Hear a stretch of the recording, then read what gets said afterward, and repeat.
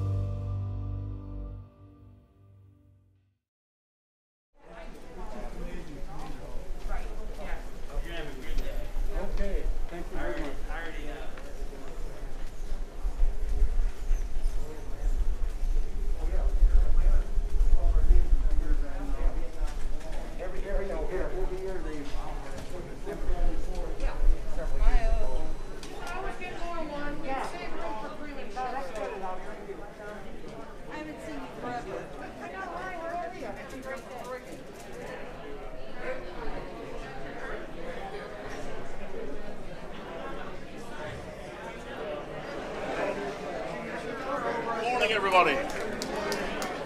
What a big day it is. I hope you're ready for all of this. It's an exciting day uh, coming up.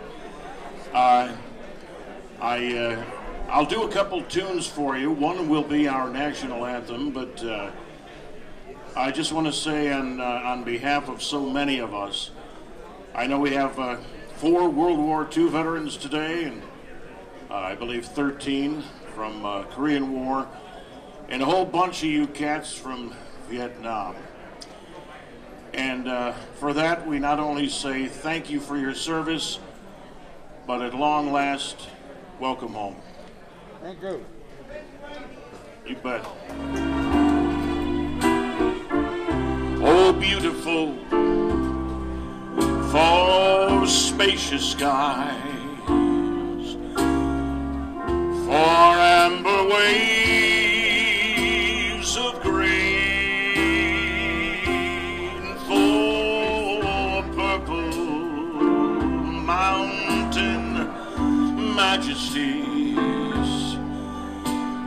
above a fruited plain, America, America.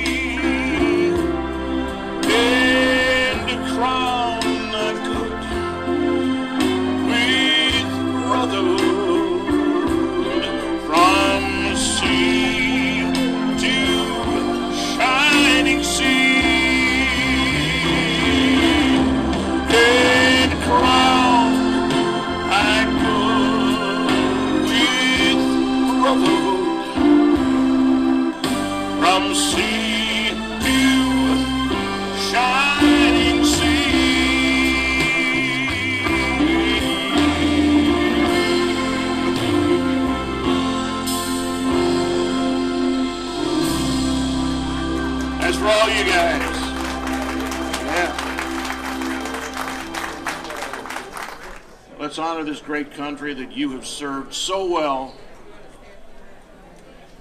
with our national anthem.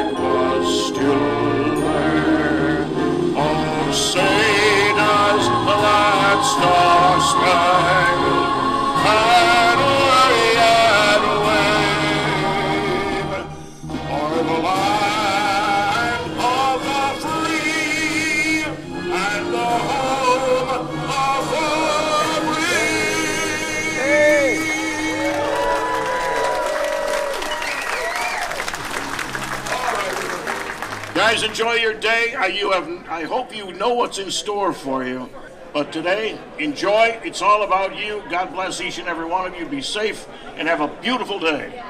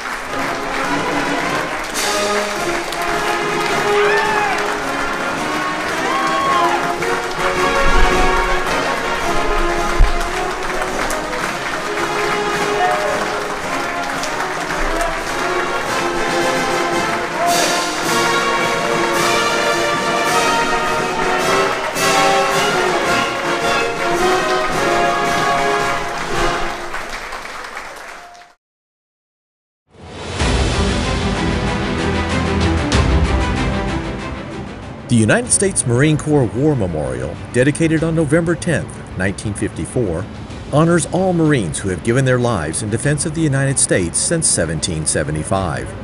This memorial was inspired by the iconic photograph of the second flag raising atop Mount Suribachi on February 23, 1945, during the Battle of Iwo Jima in World War II, taken by Associated Press combat photographer Joe Rosenthal. Although originally thought the six men captured in the photo consisted of five Marines and one Navy corpsman, interviews, research, and analysis of other photographs and video footage taken around the same time of the second flag raising has brought about identification changes for historical accuracy. In conclusion, it was determined the six men captured in Rosenthal's photo were all Marines. As you make your way around the north side of the memorial, it appears as if the flagpole is being raised yet again, as it was on Mount Suribachi.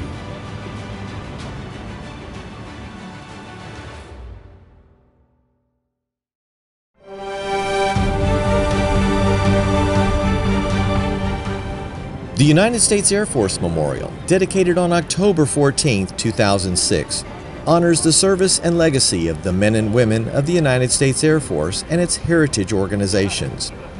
At the heart of the memorial, one will find a triangular prow bound by three stainless steel spires.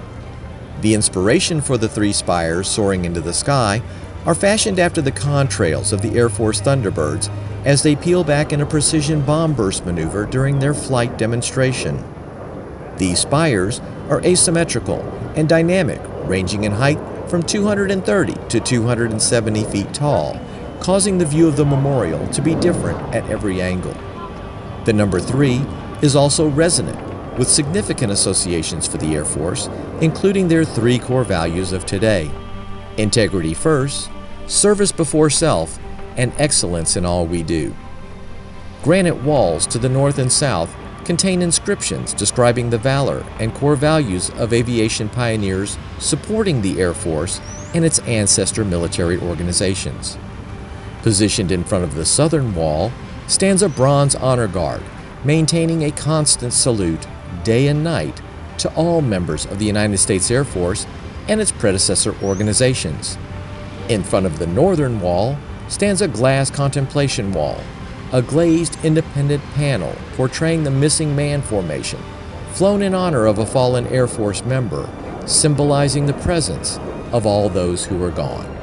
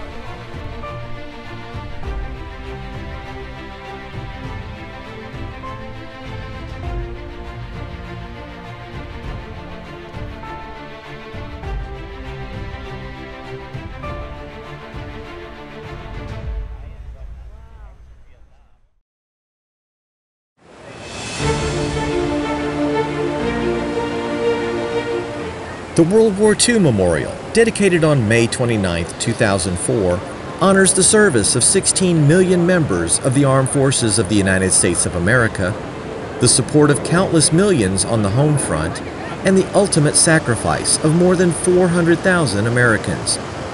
Through stone architecture and bronze sculptures, the World War II Memorial recognizes the way America served, honors those who fell, and recognizes the victory they achieved to restore freedom and end tyranny around the globe.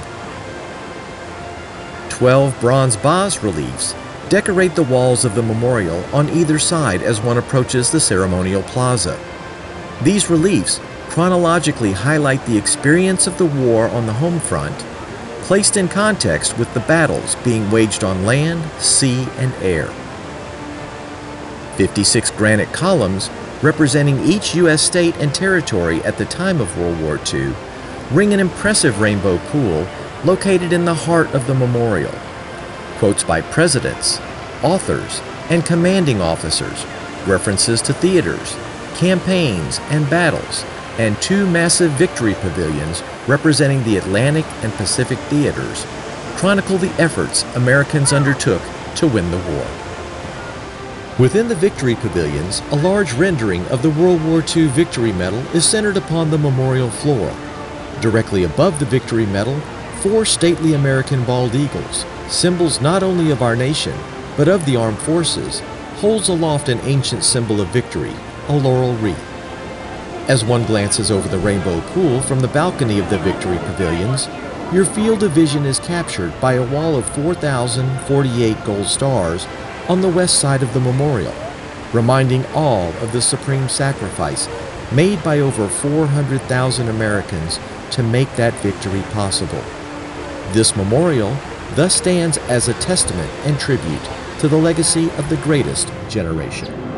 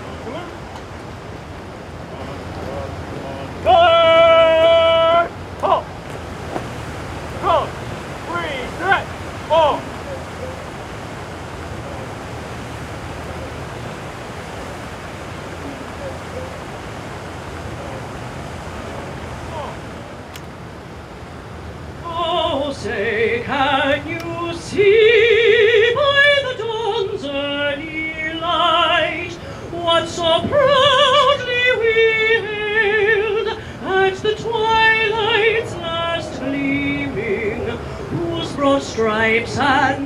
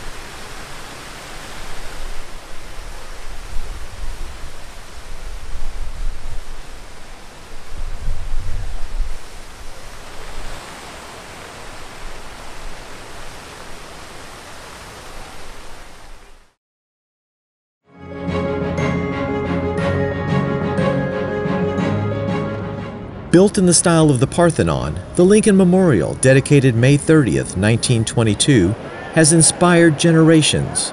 A 19 foot tall statue of President Abraham Lincoln gazes out from the solemn chamber of his memorial. Lincoln's imposing temple is surrounded by 36 columns, each representing a state in the Union at the time of his death in 1865. The interior of Lincoln's memorial features inscriptions of this revered president's most important speeches, the Gettysburg Address, and his second inaugural speech. Above these speeches are the murals named Emancipation and Unity. On the wall behind the Lincoln statue is an inscription that reads, In this temple, as in the hearts of the people for whom he saved the Union, the memory of Abraham Lincoln is enshrined forever.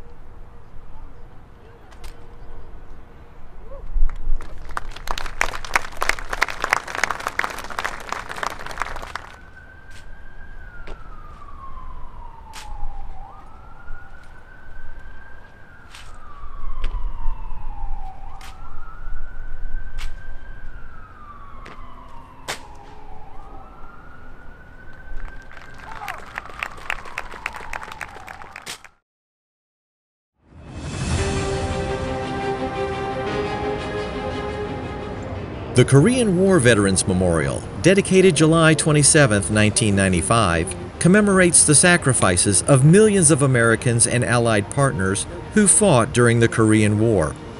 The memorial's wall of remembrance contains over 2,500 photos, selected from the National Archives, of men and women who served in the Korean War. 19 stainless steel statues, standing in a field of juniper bushes and polished granite strips, represents a platoon on patrol marching through rice paddies and over rough Korean terrain.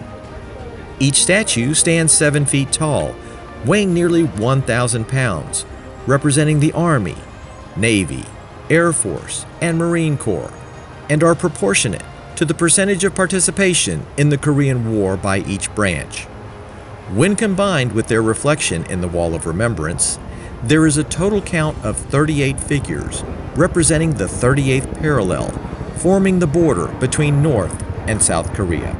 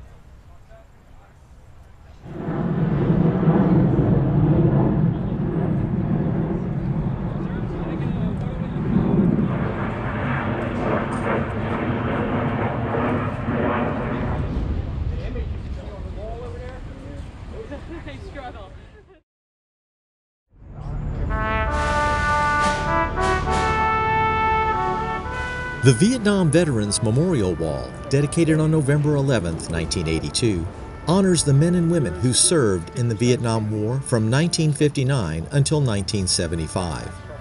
The memorial wall chronologically lists the names of more than 58,300 Americans who gave their lives in service to their country fighting in Vietnam and Southeast Asia, as well as those who were listed as missing in action during the war. Two arms consisting of 70 panels each form a wide V shape, with the eastern wall extending toward the Washington Monument and the western wall directed toward the Lincoln Memorial. Next to the names of those declared fallen, you will find a diamond shape etched in the granite. Next to those considered missing in action, you will find a cross. If a person currently marked as MIA returns alive, a circle would be etched around the cross. If the service member's remains are identified, a diamond would be superimposed over the cross. The In Memory plaque, dedicated on November 10, 2004, honors the men and women who served in Vietnam and later died from causes related to the war. Dedicated in 1993, the Vietnam Women's Memorial, portraying three women caring for a fallen soldier, pays tribute to the more than 265,000 women who served during the Vietnam era and is the first memorial in Washington, D.C., honoring women's military service. Young, armed, and wearing jungle combat gear, the Three Servicemen statue, dedicated on November 11, 1984, stands as a permanent watch over the wall. Veterans have stated, while there are distinguishing characteristics for each man, they still feel like they could be any soldier. It was the first representation of an African American on the National Mall.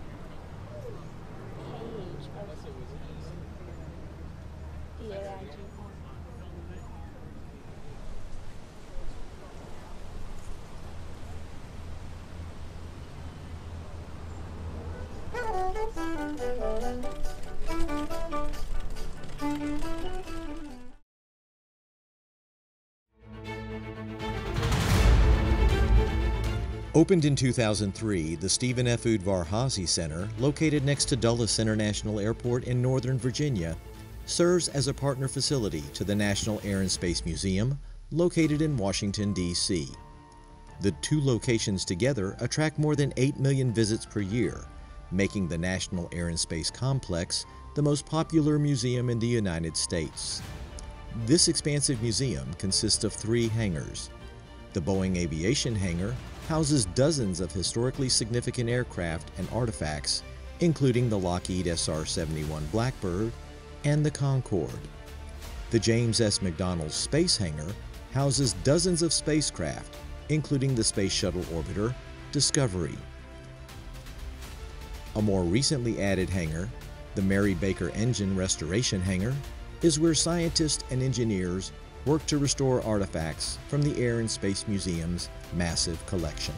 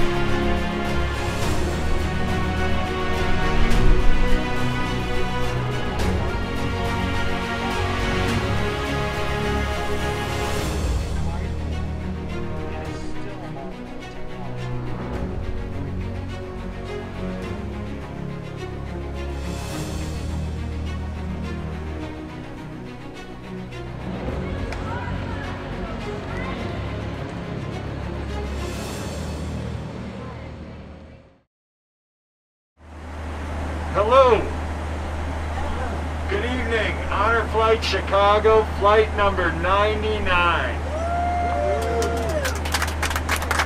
My name is John Patak. I'm a member of I'm a member of the leadership team at Honor Flight Chicago, and I want to thank you all for an amazing day. What a fantastic way to finish our 13th season. Today we had 118 senior war heroes, our largest flight ever, on a beautiful day in our nation's capital, touring the memorials that were built in their honor. But just as importantly was the camaraderie I saw of three different generations from three different wars in our nation's capital. The stories being told and the smiles I saw when we were able to lower the masks. I'm routinely asked how we pull this all together. The easy answer is we get up really, really early, but truthfully, we it's because we have the best volunteers in the world. There's so much planning and effort that goes into this day. And so many people I need to thank. Our orange shirts, those are the ambassadors. Those are the those are the volunteers who are going out finding the veterans, doing the fundraising, getting to the airport to set up. This is a dedicated bunch and they are second to none and we appreciate all of their efforts.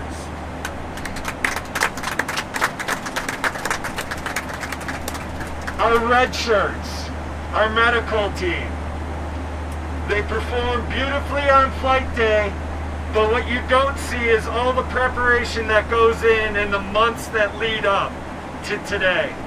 They painstakingly go through all the applications, all of the medical forms, so that they are as prepared as they can possibly be for today and can take on anything that comes at them. And especially after the last two years, uh, they, our medical professionals deserve our appreciation for helping us navigate this health crisis routinely putting themselves in harm's way to make sure that we could be as safe as possible and get through this all together. Our blue shirts, that's our photo team and our video team. They've documented the entire day and in about two weeks you can go to honorflightchicago.org and see thousands of pictures uh, of your day that you can download and share and print. So we uh, we love uh, our our blue shirts and the way they help us document this wonderful day. Our green shirts, our guardians, you took time out of your schedules to travel with us today, to travel with your veteran, uh, to make sure that they had such a wonderful day. We we've talked a lot about teamwork making sure that we all work together as a team to make sure that they had the safest and most enjoyable day possible. And you guys took it to heart and you executed today. So thank you, thank you so much. Our sponsors and our donors. This trip's made possible from little checks to medium-sized checks to the big ones. We have such a dedicated uh, and generous group of donors that make this these trips possible. So we certainly appreciate their generosity. The other members of our leadership team. This is such a dedicated and thoughtful group, and it's a pleasure to serve this mission with them. Thank you so much to the members of my leadership team.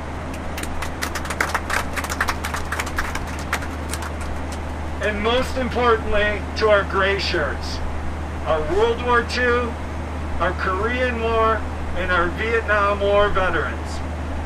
Thank you so much for your service, your sacrifice, and the courage that you displayed so many decades ago. And the courage you displayed when you accepted the invitation to take this wonderful adventure with us here today. So I ask of you, please pay it forward by telling others about what a wonderful time you had and that this is a trip not only that they can do, but they should do. And tell your stories. They deserve to be told. They deserve to be heard. And when you do that, you'll help us get more veterans signed up so they can have their day of honor. You'll help us find more volunteers, and you'll help us find more donors to pay for it all. One of the great opportunities that we have to do that is with a pro, with an extension of our mission, which is called Operation Education. We're bringing our veterans into the classroom, whether it's remotely right now and hopefully physically again soon, to tell their stories and inspire a new generation. And this is a great program. You can go on our website and get more information on it, honorflightchicago.org, and the program's called Operation Education. So at the end of these days, I always go back to uh, hearing a veteran a veteran's response when asked at the end of his day, "What did you think about the trip? How was your day?" And his response was, "I didn't realize anyone cared, and now I do." And hopefully, you all feel that same way because we do care.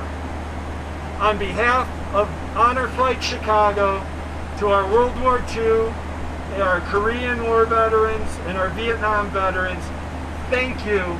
Thank you for your service, your sacrifice, and especially to our Vietnam War veterans, a very heartfelt welcome home. Welcome home.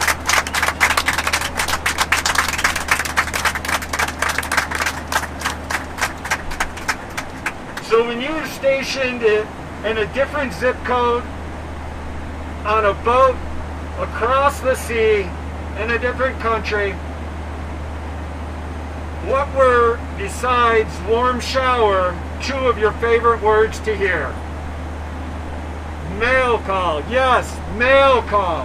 We have mail call for each of our veterans on this trip today. The way this is going to work is I'm going to read your name, I'm going to call it out, and just like in the service, I'm probably going to butcher it. But then you're going to raise your hand, and we're going to have our, uh, our red shirts pass those letters down.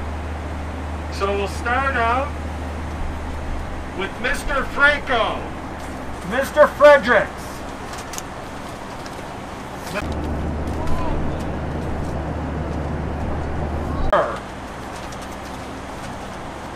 Mr. Ededman, Mr. Falkenberg,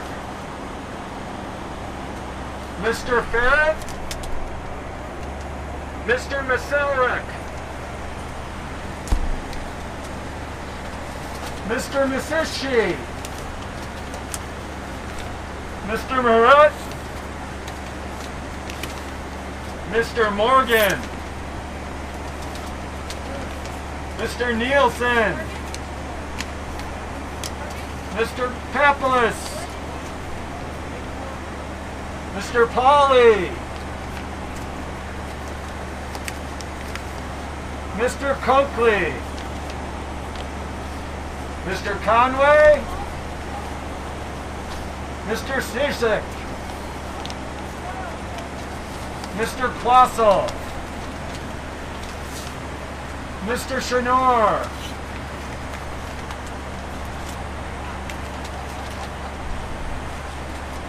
Mr. Sintik, Mr. Sirik,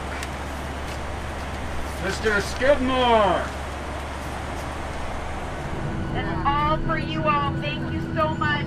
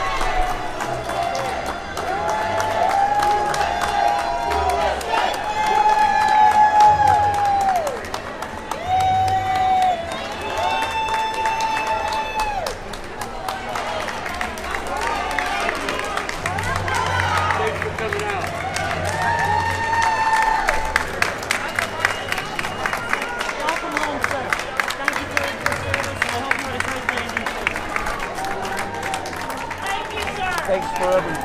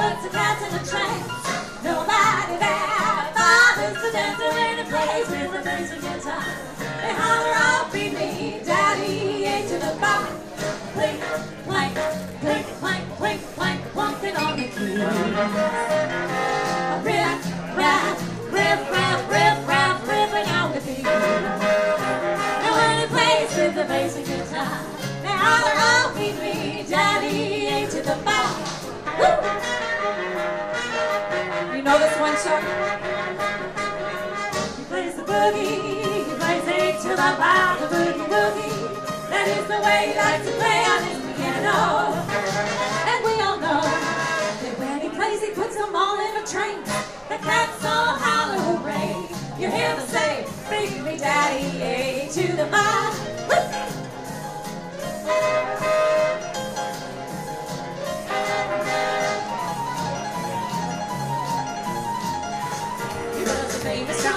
Out Chicago way. He had a blues style that no one else could play. He was the top man at his craft. But when his number came up and he was gone for the draft, he said, "Down and down, I'm blowing reveille. He's the boogie woogie bugle boy, company B. He made the all bugle boys Uncle Sam. He really brought it down because he couldn't jam, but that seemed to understand. Because the next day the cat went out and jacked to the band, and now the company He's the boogie woogie bugle boy, company B. Two, two, yeah, two, he goes straight to the pie. The boogie rhythm, he kept going notes and has some basic guitars playing with him. He makes the company jump beneath the jubilee. He's the boogie woogie bugle boy, company B. He was some boogie woogie bugle boy company B. And when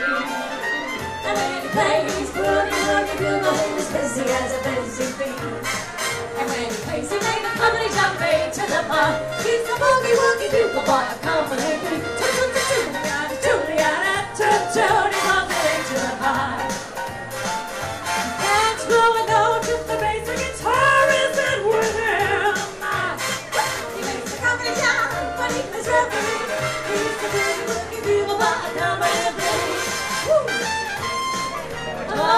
Oh,